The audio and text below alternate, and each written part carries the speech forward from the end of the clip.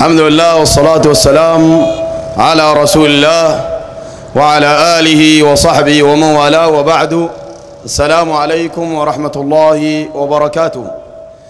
يقول الله تعالى في القرآن الكريم في سورة سبأ وقال الذين كفروا لن نؤمن بهذا القرآن ولا بالذي بين يديه ولو ترى إذ الظالمون موقوفون عند ربهم يرجع بعضهم إلى بعض القول. يقول الذين استضعفوا للذين استكبروا لولا أنتم لكنا مؤمنين. قال الذين استك قال الذين استكبروا للذين استضعفوا أنحن صددناكم عن الهدى بعد إذ جاءكم بل كنتم مجرمين. وقال الذين استضعفوا للذين استكبروا بل مكر الليل والنهار إذ تأمروننا أن نكفر بالله ونجعل له أندادا.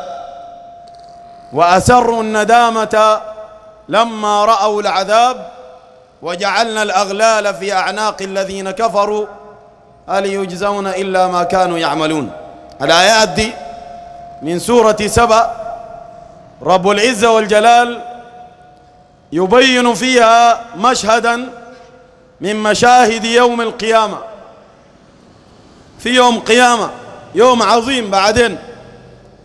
واليوم ده فيه أحداث وفيه مشاهد وفيه حسرات وفيه ندامة. والله سبحانه وتعالى وراك لها في الدنيا. عشان انت ما تقع فيها. قال لك في شكلة كبيرة بتحصل يوم القيامة. والشكلة دي بين ناس في الدنيا كانوا بريدوا بعض. كانوا ما بيرضوا في بعض. بريد الواحد الثاني بريدوا ريدة شديدة جدا. في أسياد وفي أتباع في قادة وفي ضعفاء مساكين. بعدين الجماعة يوم القيامة بيتلموا بالشكل قدام الله. بعدين يقول لهم والله أنتوا ضللتونا. التانيين يقول لهم والله أنتوا كان ما كنتوا مجارمة ما كان تابعتونا. أقرأ القرآن. وقال الذين كفروا لن نؤمن بهذا القرآن ولا بالذي بين يديه ولو ترى يا محمد صلى الله عليه وسلم ولو ترى أي يوم القيامة ولو ترى في الدنيا حال هؤلاء يوم القيامة إذ الظالمون موقوفون عند ربهم وقفة قدام عند الله سبحانه وتعالى. ولو ترى إذ الظالمون موقوفون عند ربهم يرجع بعضهم إلى بعض القول. الشكل في الدنيا تلقى خايف منه. أبويا الشيخ آي لا تعترض فتنطرد قدام الشيخ. ما تعترض. فتنطرد. ما تخليه ترضك وترتاح. انت داير بشنو تعترض عليه. يعني الشيخ انت تصافح المرأة حرام. لكن الشيخ يمسك المرأة يصافحها حلال. ليه؟ لأنه في الظاهر صافحها. لكن في الباطن بيكون قدمها ساي انت تصافح المرأة حرام. والشيخ يصافح المرأة حلال. شاكذي البرعي قال وإذا ألفيت منكرا في قولهم أو فعلهم في الشيوخ يعني. وإذا ألفيت منكرا في قولهم أو فعلهم أول بفقه تأويل كل مترجم ومؤول. يجدون لمس الأجنبية عندهم إن صافحت يدهم كذات المحرم. البيت فتية بيت شابة. انت يقول لك ما تصافحها يا الدرويش ابرياله والشيخ يصافحها. ليه؟ لأنه الشيخ نيته سمحة ودي زي المحرم. هو الشيخ ده قعب واحد نيته كعبة. والله والله ممكن تلقى واحد رمتالي. مجرم تلقاه عامل له حاجات بجاي وحاجات بغادي وتلقاه شفت يدردم في السفة. العماري الممتاز ويسجر. لكن تجيبه في البيت انت صاحبه يقول لك والله نحن بتاع اللخبطه لكن الزول ده فردتنا يا ما بنخرب لبيته. مش بتلقاه؟ تلقاه بتاع بنقو بتاع سطلة ومجرم عيونه مرقرقة مجرم وملخبط البلد. يقعد مع دي ويتونس مع دي. لكن تجيبه في البيت انت صاحبه يقول لك يا أخي والله الزول ده فردتي يا اخ بيته ده ما بلخبط فيه كما قال تعالى يعلم خائنة الأعين وما تخفي الصدور. خائنة الأعين ده اللي بيجيك في الديوان وتمشي تجيب له العصير يتاوق بالشباك. ده مجرم ده كذي. لكن الشيخ ده تجيب له المرة ولا ابويا الشيخ داير جنة. داير جنة؟ أي. دخلها لأم الفقراء. أم الفقراء دي جوا ده شاحن جلكزي أم الفقراء بتدي جنة أنتوا بتلعبوا علينا ولا شنو يا ناس؟ الجنة بجيبوا كيف؟ الناس ما عارفاه دي كلها لخبطة ولف ودوران. باسم الدين. أي زول يقول لك شيخ بنتي جنة؟ ده مصدق القرآن. الله قال في القرآن سبحانه وتعالى أفرأيتم ما تمنون؟ عليك الله ما كلام واضح؟ واوعى يقول لك دي في الأصنام. في صنم تمنون؟ في صنم تبزغون؟ خليه تمنون. تمنون ديل الناس. اوعى يغشك. أفرأيتم ما تمنون؟ أأنتم تخلقونه أم نحن الخالقون؟ ما آية واضحة؟ لكن الصوفية ألفوا كتب. هسه أنا دار أديك كرامة. الناس دي مين عمنا ده؟ لآخر واحد بيضحك وشت كرامة بتاع الصوفية هنا في, في الكتاب ده. كرامات عجيبة. والله الذي لا إله غيره. عن الكرامة دي صفحة 197 ل 198 نقدر نختصر لأنه المغرب قرب. ونحن شوف ما بندعوك تبقى معانا. والذي رفع السماء. لا عندنا تسجيل لا أي شيء. دايرين الناس دي دايرين منها حاجتين. وده الإسلام كله بدور حول الأمرين ديل. لو فهمت أنت فهمت الدين الصحيح. واحد أن لا يعبد إلا الله. تعبد الله براو دعاء لله رجاء لله خوف من الله ذبح لله تعالى. والله الذي لا إله غيره. ما تبقى زي المساكين ديل. يا أخي واقفين بالعربات؟ بالصف ليزول مات. والله قال وتوكل على الحي الذي لا يموت. والحياة الواحدة المموت الله سبحانه وتعالى. الحاجة الثانية دار إنك تتبع الرسول عليه الصلاة والسلام. ثاني ما في شيء ثاني أركب عربية برادو. لما تبرد ما في شيء أكل برجر بشطة كويسة جدا. أكل طحنية باسطة بلبن. ولك دقن ديل بيضربوا الطيبات. طب استقبل نحن بنضرب الطيبات وتقول لنا مشدد. ابدقن ياكل باسطة يكرهوه. إمش في الشارع يكرهوه. اركب عربية كرهوه واحد اخوانا من أخواننا بصلي بالناس. يوم مشى ياكل محل السندوتشات طعمية. كانت جماعة جو. يا مولانا بتاكل سندة؟ يعني بياكل جاز؟ ما زول زيك يعني عربية؟ ما بياكل سندة ذاته كان السند. يعني والله فاهم عجيب. صفحة 197 198 بديك الكلام. والله تبقى صوفي تفيك منك. هسه أقرأ الكلام ده. والله كلام عجيب مرة واحدة. ديل الجماعة ديل زول بيتكلم مع ودبرك وبيدعشوشة في الكتاب ده. صفحة 197 98 نحن جمشاحنا بنشتغل خششونا جوا كتاب خشب جاي خششونا جوا بنشتغل في اي محل الله يتقبل ودايرين الخير للناس. أمسك الشغلة دي. جزاك الله خير. والله يتكلم مع بدعشوشه بدعشوشه ما ريحها تدي مرتك. بدعشوشه بيتكلم معاه. صفحة 197 نختم بها. قال الشيخ موسى ابن يعقوب الفضلي الوثيقي أما وأبا. موسى ابن يعقوب المؤلف محمد ضيف الله محمد الجعلي الفضلي. ده بحلفاية الملوك بيجاي. قال من كراماته كرامات. ده موسى بن يعقوب ده من الكرامات بتاعته. هسمع الكرامة. قال علمه بمنطق الطير. بيتكلم مع الطير. أها. قال ذات يوم ومرات بيتكلم بالداري قال ذات يوم هو جالس والمشاط يمشط رأسه.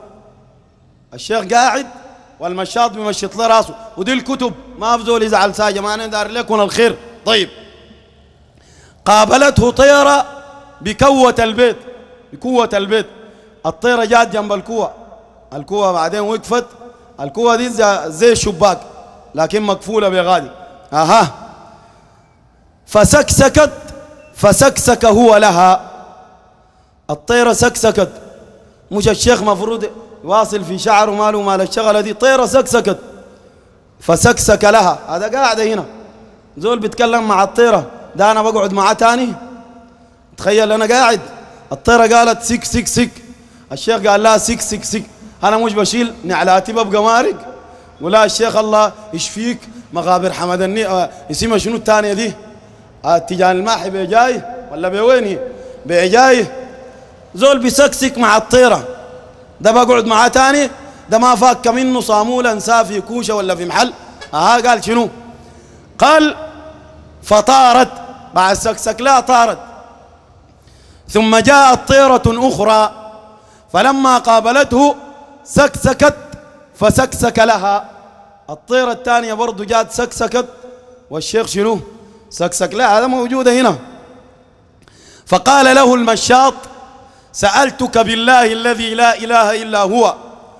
الطيرة إن قالت لك وأنت إن قلت لها. المشاط قال له سألتك بالله الذي لا إله غيره.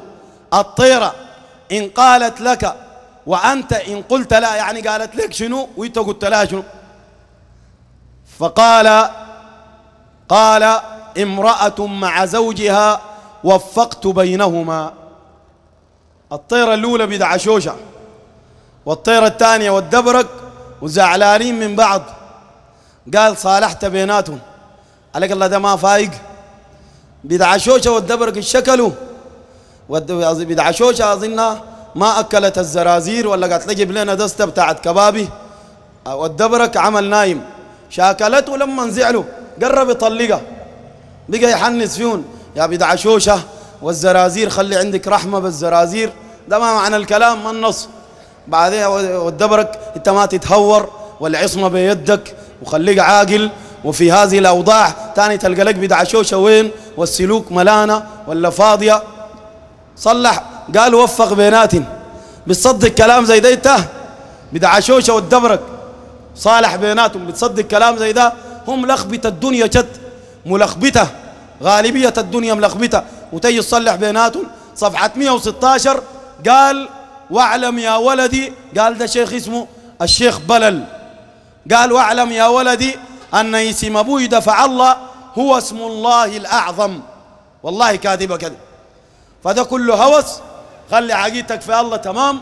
لا تعلق حجاب لا تاكل تراب لا تقيف جنب قبة. زول مات يا أخي. مات. رسول عليه الصلاة والسلام قال إذا مات الإنسان ده إنسان ولا ما إنسان؟ إنسان ولا حاجة تانية؟ لو قالوا حاجة تانية براو نبذوه. لو قالوا إنسان رسول عليه الصلاة والسلام قال لك إذا مات الإنسان انقطع عمله. تاني تمش ليه وعمل انقطع. ان تصدق النبي صلى الله عليه وسلم في صحيح مسلم. قال انقطع عمله إلا من ثلاثة. إلا من صدقة جارية أو علم ينتفع به أو ولد صالح ماله يدعو له. الولد هو اللي بيدعو للميت مش الميت هو اللي بيدعو للولد. الناس تفهم النصوص وتفهم الآيات ونحن والله خايفين على المجتمع ده. مجتمع بيحب الدين. والله واحد تلقاه بتاع ركشة تتكلم له في الدين يقول لك والله مولانا بعيدين يا أخ الله يهدينا. بيريدوا الدين. واحد سكران لقيته في سوبة اللعوتة. بتكلم كذا جاي ماشي علي لابس لي برموده سكران. جا ماشي علي جماعة قال إنه دار يضربني جو عليه وقلت لهم جو عليه وقلت لهم خلوه خلوه. لما وصل جنبي قال لي اسمع سكران ما قادر يقيف اسمع قال لي تكلم لنا في عمر بن الخطاب رضي الله عنه. ورينا سيرته وكان كيف. وما قادر يقيف ماشى قعد. تكلمت عمر الخطاب كذا وكذا وكذا. قعد يبكي. والله سكران قعد يبكي لما سخن قال لي والله ده قائد الأسطول ذاته قال لي. قلت له يا زول ما تقول كذي ده صحابي. ما تقول فيه كذي. يا مولانا قال لي ما بلغة العصر يا قال لي. قلت له والله أنت في خير لكن برضو ده صحابي مفروض الكلام يكون فيه شنو؟ أفضل. فبحبوا الدين. ده الغشون واحد غلبته الشغلة. شفت الشيوخ ده غلبتهم الشغلة. بالتيخ لقوم بزر. ما مشى معاهم. ولا بيكون جربوا. يجرب ما بتغلبوا الشغلة. اشتغل ركشة. قطعت له السلك بتاع اللبنسي. بكرة الكلتي لزاه. لافة من غير مفتاح. المهم تغلبته الشغلة. اشتغل بعدين طلبة. تبقى له حارة. امشي غرية في آخر الدنيا. خدت له شوال. ولقط له قصبات. وجيب له كم جلد. وأنا بداوي من البرص. وبداوي بدي الجنة وأدقس ودي للمرة أدقس بس أغلط وأقنع. ودي كلام طويل وكلام كثير جدا. فإذا مد الله في الأجال نحن بنجي نذكر الناس. على ضللون يا أخ. أم دائرة خير يا أخ فيها خير لموا فينا الجماعة ديل. مسكون بغير الله. تعتر. يا الحسن من المحن والبدر من الفقر والفلع يلفون أسرع من التلفون وأبو العباس من عيون الناس وأبو قرون أسماء ذات تخوف. أبو قرون من العيون وفي عين أكثر منك. أنت بتلخبط علينا؟ أبو قرون من العيون وبشملة ما بعرف من النملة ولا دي براءة جديدة خليها وبشام ورا وقدام قال. ده في العزبة هناك. بشام ورا وقدام كاتبينها كلها مصايب لا تمسك في بشام لا أي شيء. ورا الله بنجيك قدام الله بنجيك فوق تنادي الله ده تحت الله هو اللي بينجيك تناديه سبحانه وتعالى الذي استوى على العرش تحت جاياك مصيبة الله هو اللي بينجيك سبحانه وتعالى فتجعل عقيدتك فيه صحيحة وتصلي في الجامع وتسبح الله وتفك الطرق كلها والجماعات والأحزاب وتلقى ربك وهو راض عنك أسأل الله بأسماء الحسنى وصفاته العلى أن يوفقنا وإياكم لما يحب ويرضى وأن يأخذ بنواصينا جميعا إلى البر والتقوى. لأن إن شاء الله كل جمعة بعد العصر بنجي نذكر الناس. في رجال بيسمعوا في نسوان بجنب الطريق بيسمعن بيستفيدوا. في شباب بيجوا بيقفوا بيستفيدوا. بارك الله فيكم. جزاكم الله خيرا جميعا على حسن السماع السلام عليكم ورحمة الله وبركاته.